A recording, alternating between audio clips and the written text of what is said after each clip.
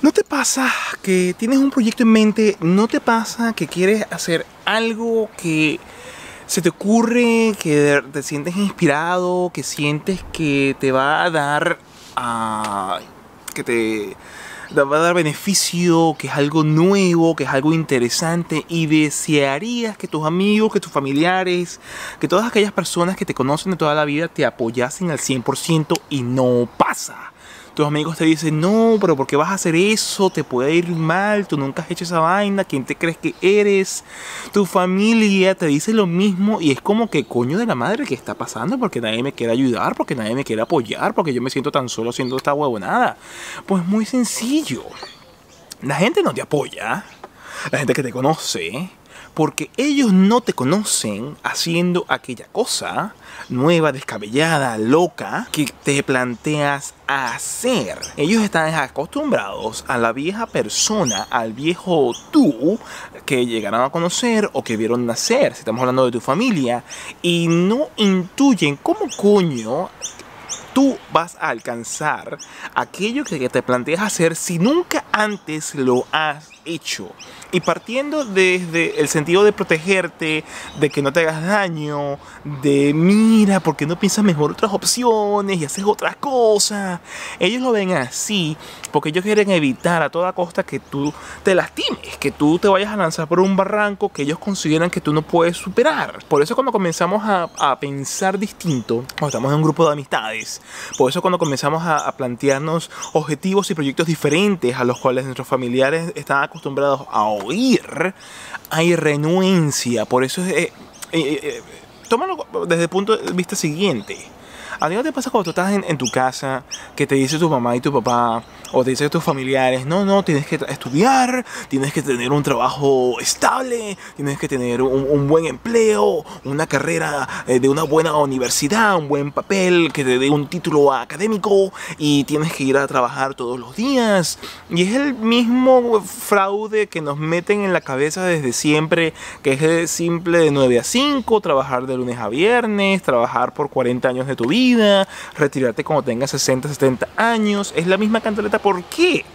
Porque eso fue lo que ellos escucharon y lo que ellos le, se los comentaron sus padres, que son nuestros abuelos, y eso fue lo que nuestros tatarabuelos le, les indicaron, y así sucesivamente hacia atrás. Es muy arrecho que te apoyen cuando lo que tú estás pensando es una locura en su cabeza. Ellos no tienen literalmente ningún tipo de referencia que haya logrado lo que a lo mejor tú estás pensando. Tú, estás, tú puedes pensar por lo menos como puedo pensar yo en retirarte antes de que tengas 45 años. Tú puedes estar pensando en comprarte una casa que no tenga ningún tipo de conexión a la, a, a la red eléctrica convencional. Tú puedes estar pensando en que tu casa sea móvil. Tú puedes estar pensando que no tienes que trabajar nunca más en una oficina, sino simplemente vivir como un nómada, bien sea digital, bien sea que tú hagas tus propios negocios, bien sea que tú generes contenido, bien sea que tú tomes fotografía, algo bastante móvil que puedas hacer desde cualquier parte y que tú puedas precisamente vivir en cualquier parte, que no tengas una dirección fija, que tú te pinta el culo y hoy decido que me voy a ir a vivir a Darwin y me llevo mis macundales y toda mi casa y cambio de dirección y voy a vivir a Darwin. Eso es algo que en muchas ocasiones a muchos de nosotros se nos atisba como un imposible. Y por protegerte, por no entenderte, por simplemente no comprender no te hemos visto a ti haciendo nada similar, te decimos que no y, y no te apoyamos. A mí me pasa muchas veces y, me, dolía que yo subía videos a, a, a, un grupo de WhatsApp que yo tengo de mis amigos cuando de Venezuela, que me conocen desde, hace muchísimo tiempo y ninguno de ellos los veía, ninguno de ellos les prestaba atención. Bien puede ser porque los temas que yo trataba en esos, en esos videos no les llamaban la atención o si de llamarse la atención a lo mejor ellos no me ven a mí como un productor audiovisual, como un creador de contenido y esa disonancia mental hace que no me apoyen. Y no me apoyan no por mal, sino que no me ven a mí como un creador de contenido porque yo nunca antes me había mostrado ante ellos como un creador de contenido. Entonces no es por mal que la gente no te dé el apoyo, no es por mal que la gente no esté preparada para seguirte en tus emprendimientos y en tus empresas. Es simplemente que no están acostumbrados a ello. Pero entonces, ¿qué hacer?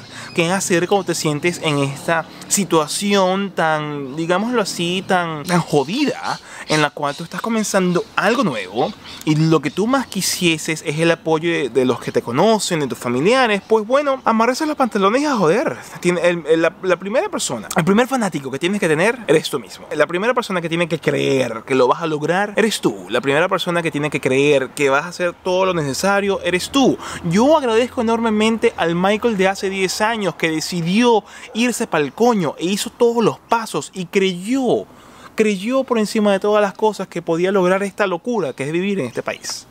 Si ese Michael de hace más de 10 años no hubiese hecho las cosas que se planteó hacer, hubiese creído en sí mismo y hubiese buscado la forma y la manera de lograr los objetivos, los pasos, eh, reunir el dinero, pagar la, cuestión, eh, hacer los el, papeleo, yo no estuviese en el patio de mi casa en la ciudad de cine como me encuentro el día de hoy. Entonces, si nadie te apoya, tienes que contar es contigo. Y así la gente te vea como loco, tienes que seguir contando contigo. Si tú ves que te hace daño, porque llegas a, pasa entonces que en, ciertas amistades hay como el, digamos, el, relajo, el chalequeo, en que te comienzan a joder, en que te comienzan a decir, ah, piazo loco, estás hablando tú ahí. Tú tienes que decidir entonces si esas amistades valen la pena mantenerlas.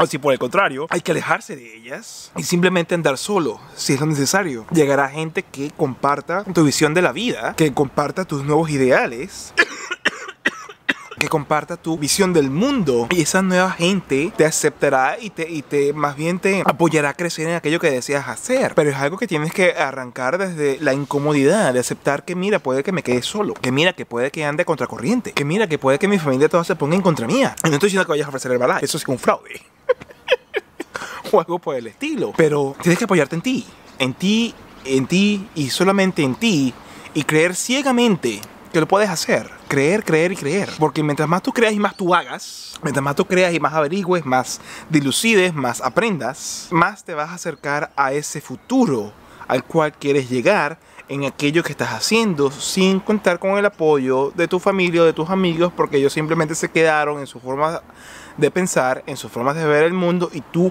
evolucionaste, creciste y avanzaste. Así que sin más, yo te voy a dejar acá una, lista de reproducción acerca del mindset que siento que es lo más importante que todos tenemos que tomar en cuenta para poder comenzar entonces a activarnos y hacer las cosas que tenemos que hacer para lograr aquello que deseamos lograr.